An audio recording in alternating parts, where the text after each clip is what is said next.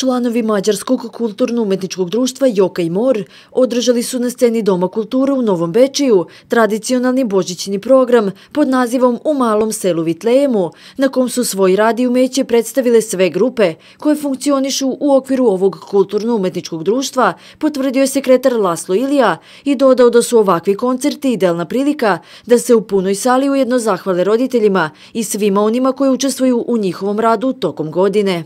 ujedno, a mi sa programom,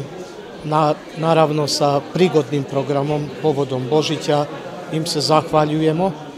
i ovaj put smo to isto činili od najmlađih koji su zabavište i niži razredi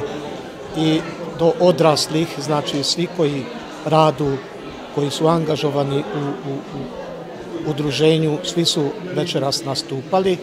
prateći orkestar je konstantno iz Starog Bečeja, Fokoš orkestar i eto, publika je popunila salu,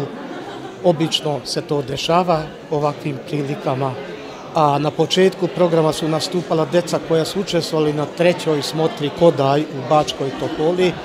koji su osvojili e, zlatnu i srebrnu i bronzane e, plakete i tako smo im prikazali šta su od, recimo, sad u ovom jesenjem delu postigli rezultate. Ovo je ujedno i vid pripreme za najznačajniju smotru stvaralaštva vojvođanskih mađara Đenđeš Bokret, objasnio je Laslo Ilija i uz nadu da će se u ovakvim prilikama vidjeti češće i u još većem broju poželeo publici srećne praznike.